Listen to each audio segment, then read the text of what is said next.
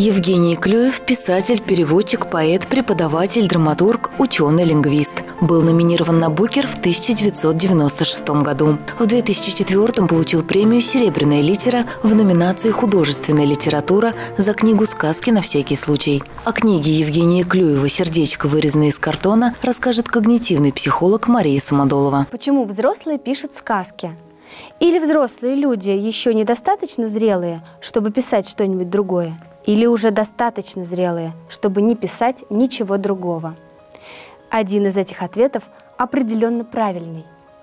Эти слова сказал в интервью Евгений Клюев, писатель э, и лингвист, автор книги «Сердечко, вырезанное из картона». Это сборник сказок.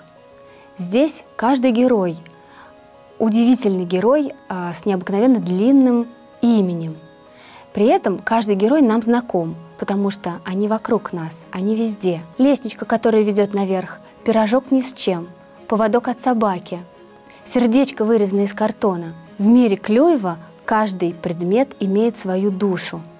И эти души, так же, как и мы, люди, они живут, они находятся в поиске счастья, они стесняются, они сомневаются, думают, э, ищут, они находятся в поиске смыслов и призвания. Именно этим мне и нравятся сказки Клюева. Сердечко, вырезанное из картона, очень хотело идти куда-то. Оно понимало, что живые, они куда-то идут, а похожие на живых, их где положишь, там они и лежат. Но оно не знало, куда идти, потому что оно говорило, я люблю всех, Куда мне идти, если я хочу идти сразу во все стороны? Вы от того в замешательстве, что всех любить нельзя, объясняла ей одна собака. Любить можно только своего хозяина. Хорошо собаке, ведь у нее есть хозяин, который всегда ей указывал место. Любить можно только своего мужа, говорила ей одна птичка. Если у вас нет мужа, то этого не может быть. Точно так же и люди не могут принимать того в жизни, что в корне отличается от их мировоззрения. Такая же история произошла с героем по имени Пирожок ни с чем. «Тогда ты вообще не пирожок!» – взорвался пирожок с вареньем. И от взрыва этого из него вылетел в направлении шумевшего неподалеку леса остаток брусники. Правда, пирожок с вареньем ничего не заметил и продолжал верещать. «Тогда вы вообще непонятно кто.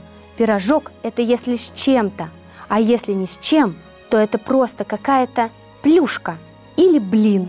Он с таким отвращением произнес плюшка или блин, что ватрушку с творогом буквально вывернул наизнанку, от чего из нее тут же вылез весь творог сразу. «Жизнь сложна!» – закричала она изо всех сил. «И каждый должен определиться, кто он такой, с кем он и так далее». «Я сам по себе, я ни с кем!» Тихо, но твердо, тут же и определился пирожок ни с чем. И совсем уже уверенно закончил – я ни с кем и ни с чем, и оставьте меня, пожалуйста, в покое. Никто не обязан быть пирожком с чем-то. Никто не обязан быть собакой с хозяином. И никто не обязан быть птичкой с мужем.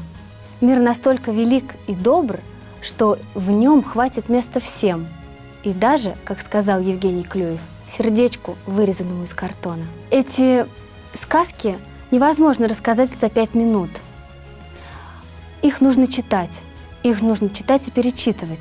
И каждый раз, читая эти сказки, вы будете открывать что-то новое, глубокое и необыкновенно мудрое. Я советую читать Евгения Клюева своим детям, потому что когда вы будете читать эти сказки, вы будете расти сами.